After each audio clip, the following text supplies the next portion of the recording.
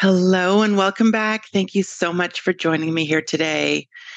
You know, many of the kids I've worked with are exceptionally bright, but because they think and learn differently, traditional school environments can be challenging and they can struggle with engagement and often ask, What's the point? Well, today's guests are going to discuss the importance of creating space and time for reflection, reasoning, existential questioning, and the sharing and communicating of ideas. They're going to talk about deep learning and how that can engage students. My guests are Jim Hahn and Dr. Jon Cassie. Jim is the founder of Qualia, the School for Deeper Learning. He brings his cutting edge educational model to a new level with his democratic educational philosophy, unique teaching and mentoring approach, and innovative deep learning curriculum. Dr. Cassie has worked in independent school education for 25 years, serving in virtually every teaching and leadership capacity schools have to offer. He has won awards for his writing and is presented at conferences and forums on learning and games in the US and abroad.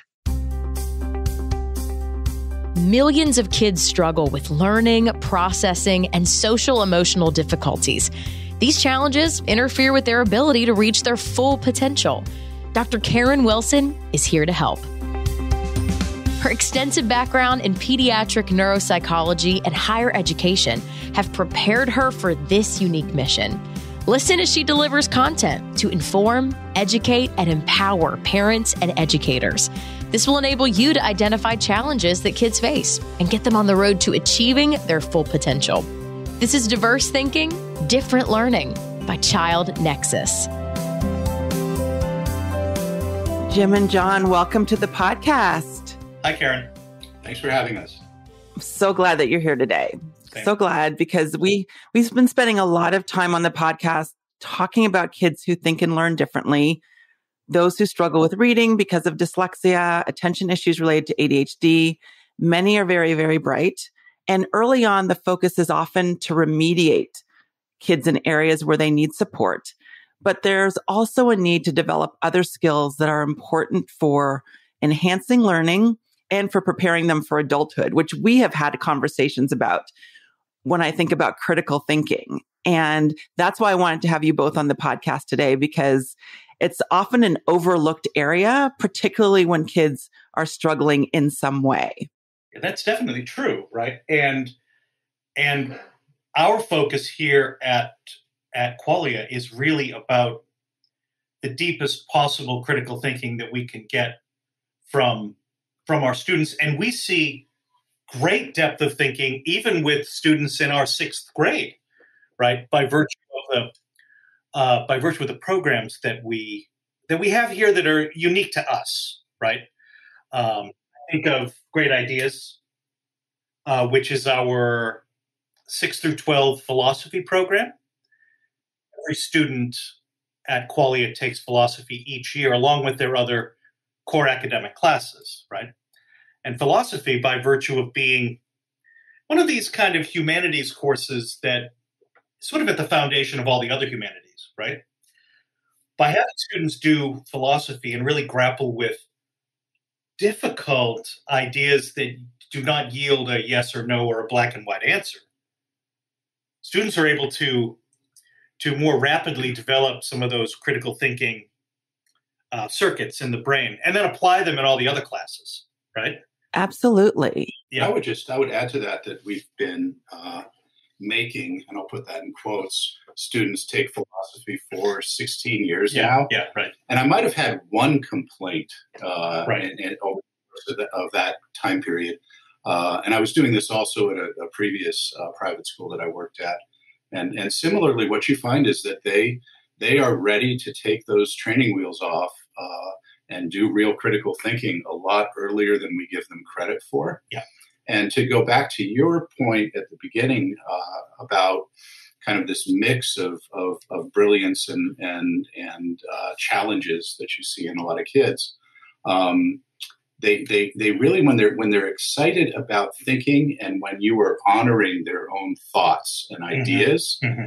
Um, they forget to be anxious about the things that make them anxious about school whether it's it's diagnosed learning differences right. or or aspects of the school environment that uh, that have made them anxious in the past um, they, they really get caught up in, in using this new capacity that's emerging in, in pre-adolescence and, and, and kind of early high school.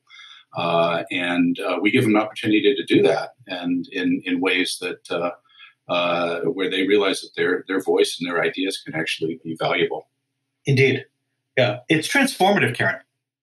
And it really sounds like it because when I think about school, the school experience for so many kids, you know, we think about reading, writing, math, science early on, but oftentimes philosophy isn't thrown in the mix. Yet, you know, the end goal is not to have kids who can read proficiently, even though that's important for ana- analyzing information. Writing is important, but we want them to actively and skillfully conceptualize, apply knowledge, synthesize information, and evaluate information gathered because that is really going to prepare them for adulthood, which is what we're doing all along. And so how, why philosophy? You know, out of all the, uh, the, the, the subjects that you could kind of bring into a curriculum, why philosophy and how early can you introduce this topic and this idea? Taking the first part of that, we teach philosophy not as a, a maybe not the way it would be taught at, at, at in college. It's not um, you know, walk them through the history of philosophy. It's not about knowing a little snippet about each of the famous philosophers. Yeah, right, right. Uh, we really de-emphasize the you know the whole parade of, of old dead white guys, uh, and, uh, and we're, we're much more focused on philosophy as a method. Yeah. And so, what is what is it a method for? Uh, one thing that it does really really well is uh, to uh, get you outside of the frame that you may find yourself in, whether it's your own way mm-hmm. of sort of uh, a canalized uh, way of looking at the world that might not be serving you well. Or if you're in a group of people and they're all sort of thinking the same, yep. a philosopher, someone with philosophical training, um, which can be, you know, uh, uh high school philosophical training. Uh, it puts them head and shoulders above most adults. But someone with that training is going to be able to say, maybe we're asking the wrong question, maybe we're looking at things the wrong um, what if we, you know, what if we turn this whole thing on its head? And so that that ability to ask really incisive and productive questions um, is one one uh, one really big part of it. And there's ample evidence from from organizations that care about teaching philosophy to young children that you can do this with kindergarten age students. You just have to structure the questions in a way that they become accessible to whatever the age group that you're talking about, right?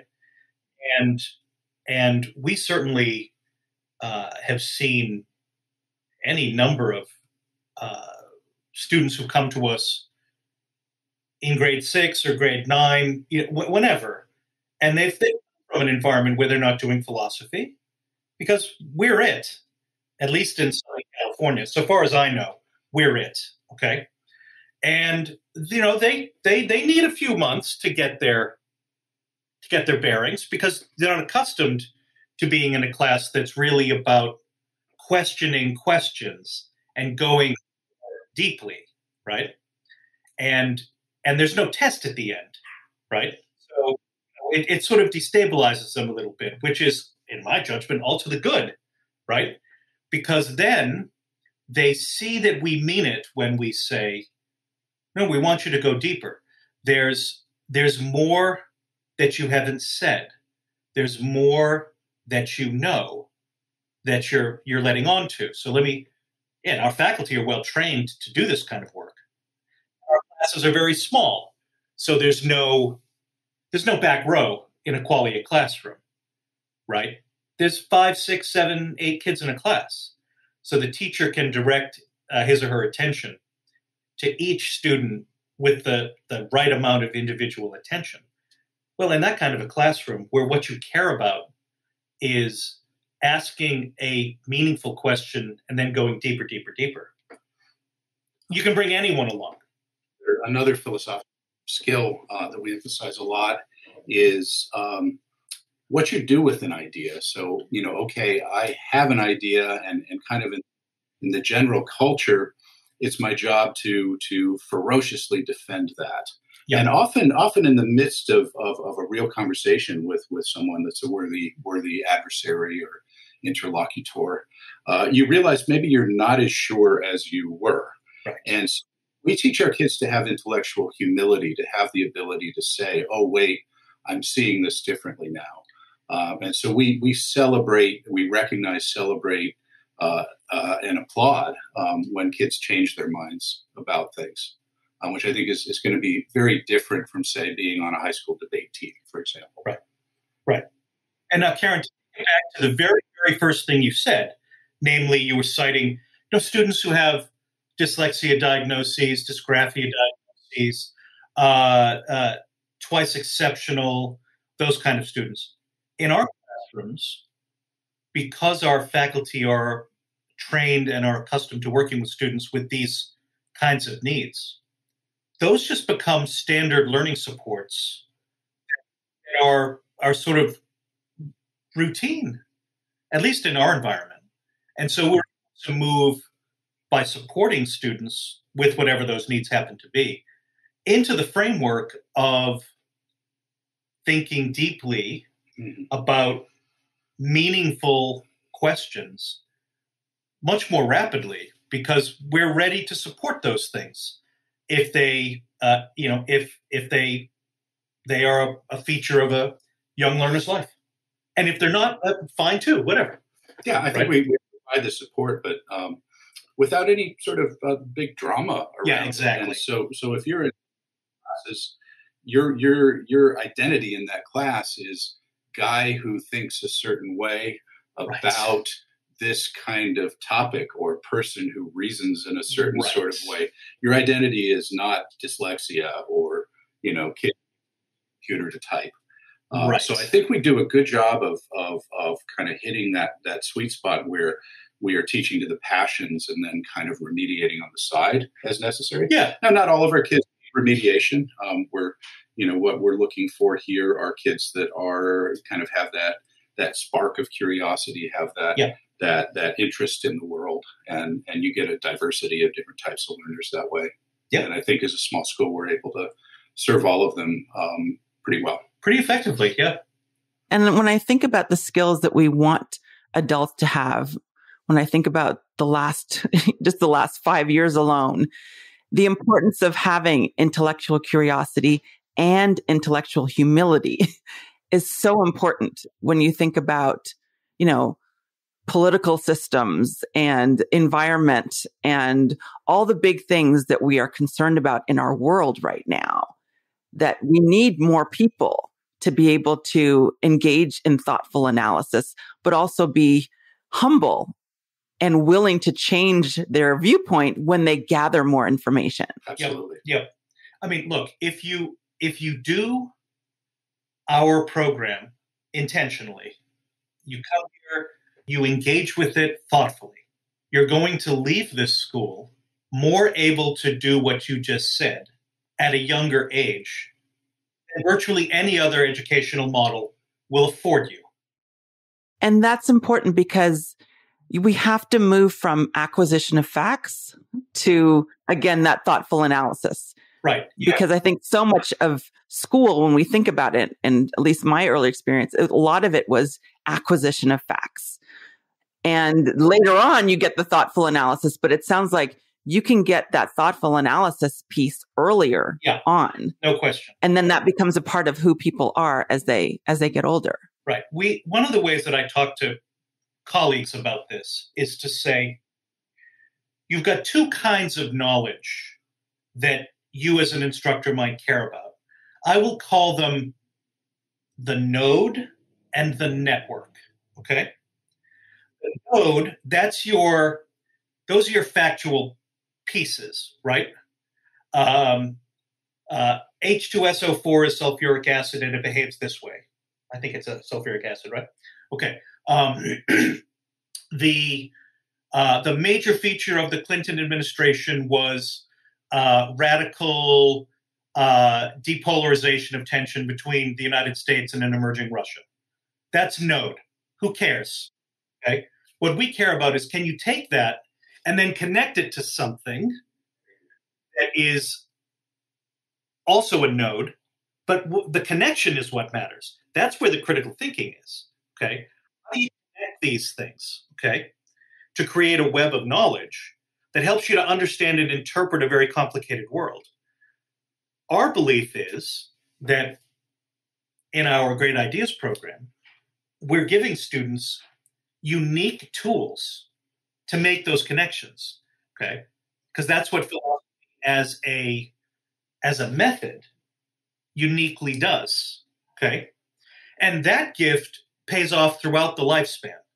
Okay. Because we care as much about the child at 10 or 15 or 18 as we do when they're 40 or 50. We're, we're intentional about this. We know that we can have an influence here when they're in school that will pay off throughout their adulthood. It, you know, if we uh, quote unquote stick the landing, right? And you know, I, will say to parents all the time. Jim, Jim, Jim's heard me do this, right? I've got a parent in, you know, in an admissions meeting or whatever, right? And I'll say, okay, so your your kid is 11, so that means they were born in 2011, right? Yeah. So so they're going to be 50 in the year 2061, and you see the parent's face, the blood rushes out of their, you know, they're horrified at this. And I said, do you think the world's going to be any less complicated, or more? I hadn't thought about that. Well, we think about it. And that's why we emphasize what we emphasize, because we know that this foundational skill development in thinking itself is what's going to make the difference. And and back to your point uh, about uh, acquisition of facts, you know, all that you know this better than, than than we do, probably, Karen. But that all the research shows that those facts are actually only acquired for a month or so. Yeah, right, right. At the, yeah, yeah, yeah. At the most. So what are you know what were we doing in school acquiring all those facts? It's perhaps a little depressing to reflect right. back on right, that. Right.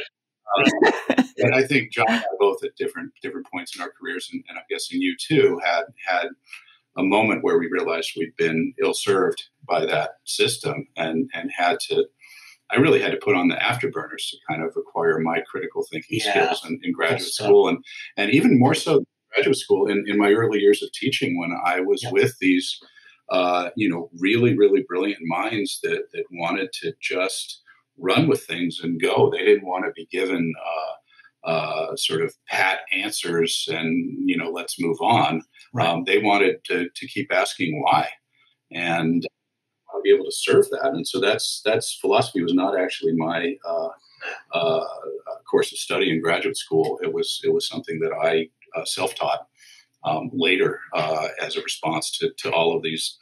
Uh, really active, really brilliant uh, ninth graders, mainly that I was that I was working with at, yeah. at a school I taught at before. And what does a query driven curriculum that involves this deep existential questioning look like? So if a parent were to think, is listening to this podcast and thinking, this sounds like a great academic environment, a great learning environment for my child. What, what does that look like? Cause it sounds like they're not going to go from reading to math to social studies to science. It's the curriculum and the, the day of that student is going to look very different. Can you give us an idea of what that looks like? Right. It's a great question because we're working right now with our uh, humanities teachers, both both uh, philosophy, uh, history, as well as literature, um, on on some questions that uh, rather than being sort of the specific question for seventh grade or eighth grade, um, we're starting at kind of the fifty thousand foot level, and we're saying uh, if if someone were to send their kid to this school we'd like to be able to say, here are five questions that are so crucial uh, to someone's uh, ability to think critically about things that matter. Um, that your child will not only encounter them next year in, say, fourth grade, um, but will encounter them at uh, grade level appropriate levels mm-hmm. all the way through our program. Um, so, uh, this is an interesting thing. We've brought the kids into this discussion because our kids uh, who've been here a year or two are pretty decent philosophers on their own. Uh-huh. Um, we have a list, we have an exhaustive list of questions that we pull from, and that's on our website. And so we're working on saying, okay, out of this list of you know, might be 50 questions covering political philosophy, mm-hmm. ethics, metaphysics, epistemology. Um, we don't use those terms a lot with the kids, but all, all the different sort of official fields of philosophy. You know, what are what are the five that we'd like to see hit over and over again? Because we don't, we really, really don't suffer under the illusion, labor under the illusion that uh, uh, you do something once with a kid, even if you do it for a month, let's say in sixth grade, um, that it's going to be there when they're 30. Um, however, I've taken in, in my own practice, my own teaching here and prior to here, uh, when I've taken a semester with kids to tackle one question and really had each of them lean into their own personal position on that philosophical question, um, I meet those kids again at 35 mm-hmm. and they still remember what their position was on mm-hmm. cultural relativism. They remember if they were a relativist or a universalist. They may even remember that one kid who had that crazy idea that they really disagreed with. Um, so we need to, you know, it's a, a, very much a less is more approach where tackling just a couple of questions uh, and doing it right um, you don't you don't rush through, and and you need to have a program that's flexible enough that uh, if at the end of the semester we're still the kids still aren't where they need to be with that, um, we can keep talking about that question. Um, so there's a lot of a lot of talk right now at the school as we develop this deeper learning model um, about how to have those fifty thousand foot questions in the room, along with say the Civil War. Yeah. Right. Along with you know H two S O four. Had an amazing uh, high school uh, U.S. history teacher who actually taught the Civil War as uh, yes, a conflict between North and South, and industrialized and agrarian and all that stuff that that we had hammered into us, and that's about the end of what I can recite. Jon's better. Hmm. Uh, but he taught actually taught it as a, a problem in um, in how historians think about uh, the causes of, of, of, events like that. And so they were, yes, they were learning about Gettysburg and Appomattox and, and, and, and all of that, but they were also struggling at the 50,000 foot level with whether history is driven more by material factors or more by ideological factors. Mm-hmm. So they may not become, you know, Civil War historians, but can at age 35, 45, 55 um, employ that big question, that question about what drives history in general, uh, if they can apply that to their understanding of what's going on in the world, or uh, you know something that may uh, uh be relevant to, to whatever work they're doing, um, I think that's the prize. And so, so you know, less less is more, right? Um, we're not, you know, we, we like content, so content is there um, but linking the content to the big questions. And these are all challenges that we're all we've all rolled our sleeves up uh, yep. and and we're tackling together. Uh, and again, I'll emphasize along with the kids. So we do design teams where the kids are part of the history through ideas design team. So they're actually creating the curriculum for what we hope will be generations to come. Yep. And it seems like with that type of learning environment, there's a great deal of communication a great deal of sharing of ideas and getting feedback in your ideas. How do you bring introverts into that milieu? How do they how do they do? Yeah. By by virtue of the classes being small, okay, and by using an assortment of teaching techniques that favor uh, writing, pairing, chalk talks. You know, you write a question on a board, give everyone a marker, right, and everyone responds to the question, but in writing, right? Yes. Uh, and by by creating classrooms where the person who gets the most reward isn't the one who's talking the loudest, we find that introverted students actually have a framework in which they can participate at a level that feels appropriate to them and and we can get their their voice out without generating an awkwardness, without generating a an anxiety. And you know, the biggest class that we'll have would be about 10. That's a much more congenial environment for an introverted student than a class of 40. Yes, absolutely. All of those things taken together, I think contribute to introverts doing quite well here. I'll, I'll just add uh, to that that uh, there's a culture here. The kids allow each other to make mistakes. This isn't, Yeah. you know, there, I think there are a lot of classrooms out there, whatever size classroom it is, uh, where there's a culture of of of laughing at someone because they mispronounce something or Yeah. get a fact slightly wrong. Yeah. And uh, some of our kids come in here with that culture, and uh, often often they they uh, abandon that and and get on board simply from the feedback that they get from our our returning students. So this is Yeah. these are kids who don't want that. There, there's a you know they can make a list of things that they had at their old school culturally, uh, et cetera, Yeah. um, that that they don't want to have here, and that's been the case from the beginning. Yeah. Um, so this is this has been to them sort of an oasis, and they want the oasis to uh, to to be free of some of these uh, uh, kind of noxious elements that that, that Yeah. get in the way of learning. Um, we also will will train the the kids that are more talkative to. Um, instead of uh, making declarative statements, to uh, make interrogative uh, statements, to ask questions. Um, so, so maybe the kid who who overtalks a little bit uh, becomes uh, deputized as a, uh, a sort of Socratic questioner, um, trying to bring things out of the other kids. It sounds like it's not just about the intellectual curiosity. You're also in the business of character development. There's an acceptance of differences. Kindness is important as well. And Yeah. we, we talk a lot about that either formally in our, our weekly council or uh, informally in the context of, of what comes up and what happens in class.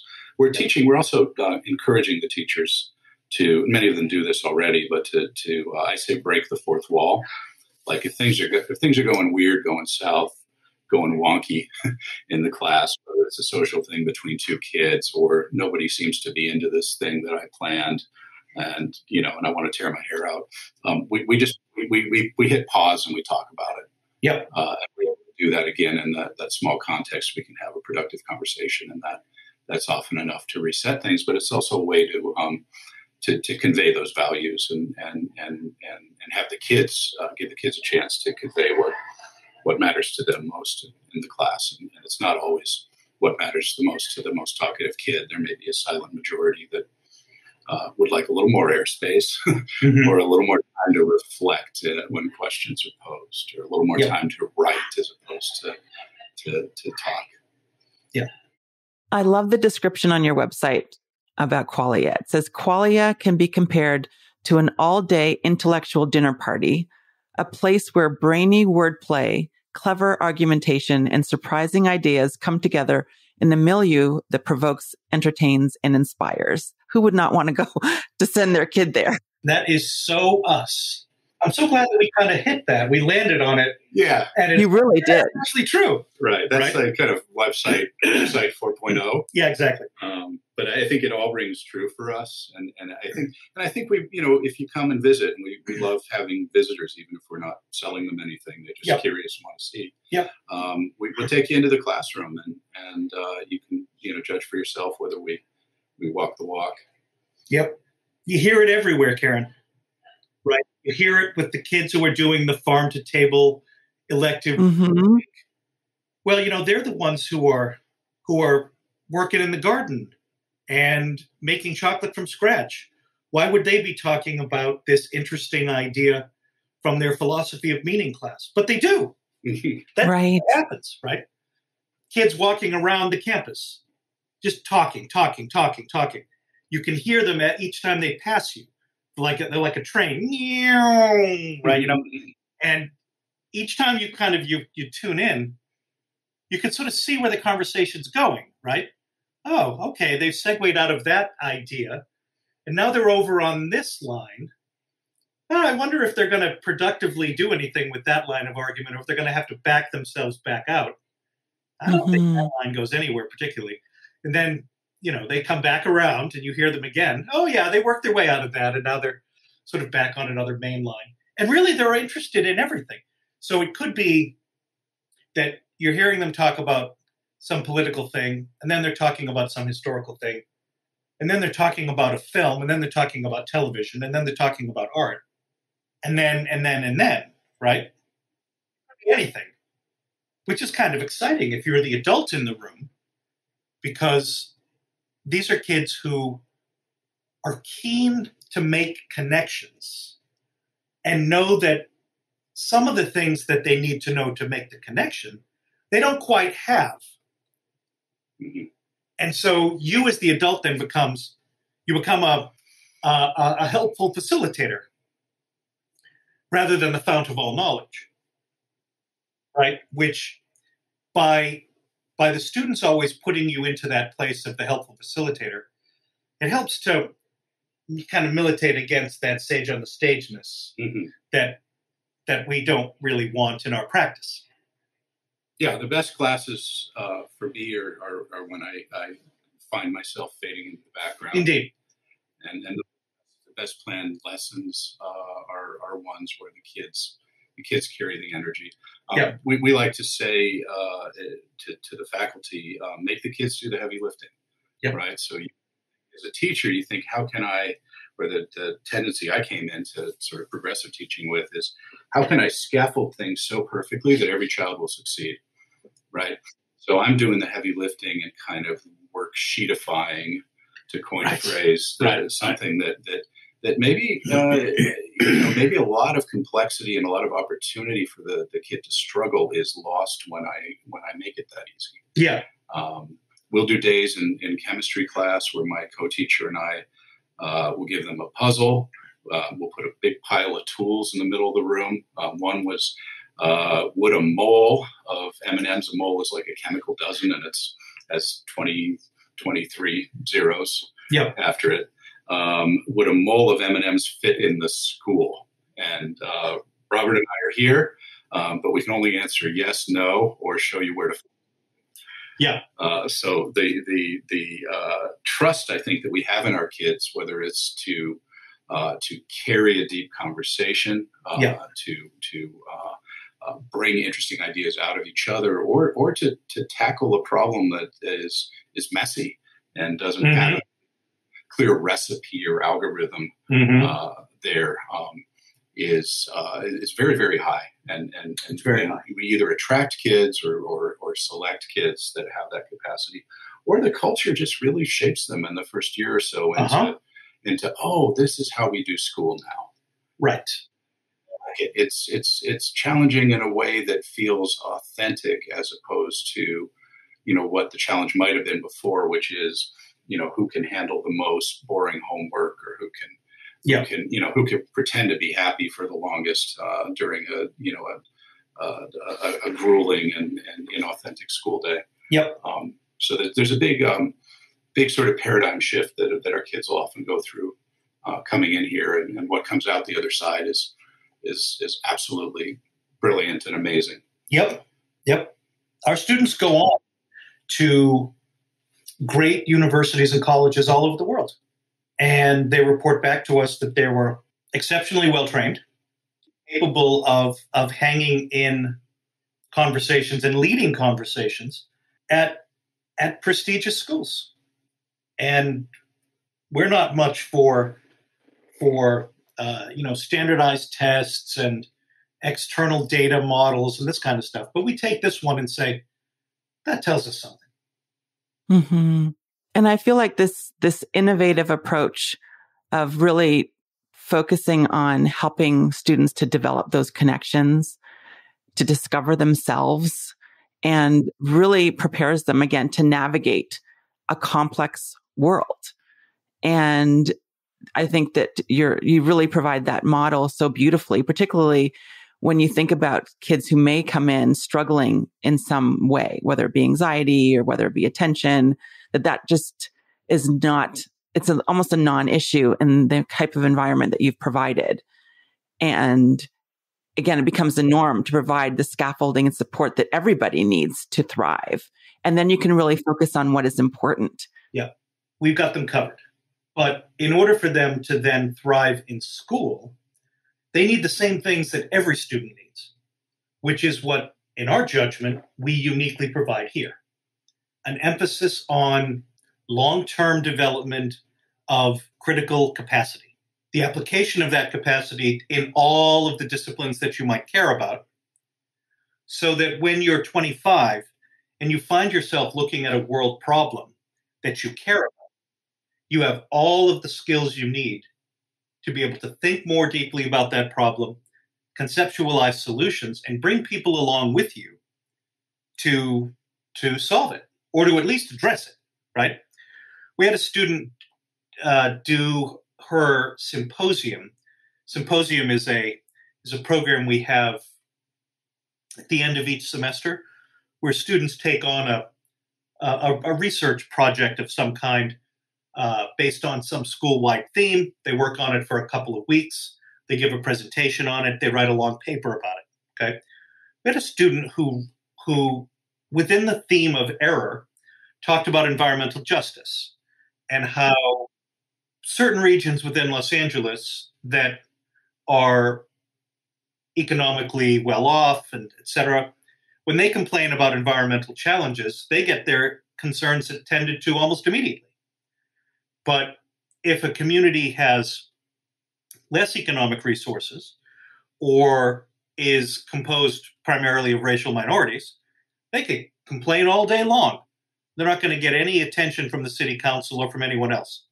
She did her research and she showed how that works within Los Angeles and then pitched some ideas about ways that we might work to address that. And it was electrifying on campus. This is not a student who, in the past, would have been electrifying.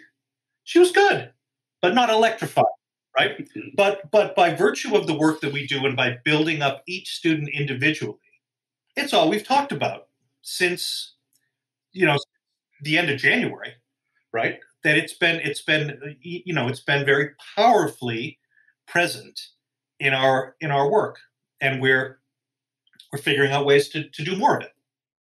That is very inspiring. And it's one of the reasons why I love that's a perfect example of why I love the work that you all are doing at Qualia. And, you know, if listeners want to learn more about your work, about your approach and Qualia, what is the best way for them to reach you? Well, they can they can look at the web page, you know, www.qualiaschool.org, Q U A L I A. They could write to me, Jon at qualiaschool.org, J O N, or Jim at qualiaschool.org. And we take all inquiries. As Jim said, if you want to come up and have a look, if you're an educator, you're a parent of a, you know, of a kindergartner, and you're not, you know, you don't need a middle school right now, but you want to come and see what we do, come on up, right? And any and any educational professionals, you know, or or uh, uh, you know, ad, uh, adjunct people, come on in. We'll take anyone around. I've got a couple of tours just today. I would just add that we uh, we have expanded to include online students. Um, Indeed. So we had a, a, who was in Ohio. Yep. And so uh, we're we're happy to talk to people uh, uh in the sort of highly curious, gifted. Uh, if you just think your kid sounds like a match, but he's never been labeled anything, that's yep. great too. Yep. Yep. um, from uh, from uh, any of the any of the 50 states, and, and yep. uh, we could you know time time differences allowing, we'd be happy to have kids from other countries as well. Yep. It enhances, inevitably enhances our, our students' experience in the physical classroom. Yep. And we're pretty good at, at hybrid. Yep. Yeah. Wonderful. Jim and Jon, thank you so much for being here. It has been a pleasure speaking to you both. And thanks so much for sharing this information about your school and with, about this really innovative approach with our listeners. Thanks again. We're grateful for the opportunity, Karen. Thanks. Thank you, Karen. Today, we talked about ways that we can foster intellectual curiosity, which is essential for learning. If you want to learn more about this approach, be sure to reach out to Jim or Dr. Cassie. Their information is in the show notes. And be sure to get on our email list by going to childnexus.com. Our emails will keep you connected to us, and you will know when we host more conversations like this one. Thanks so much for listening. I'll see you next time. Thanks for listening to Diverse Thinking, Different Learning by ChildNEXUS. For more resources, visit us online at childnexus.com.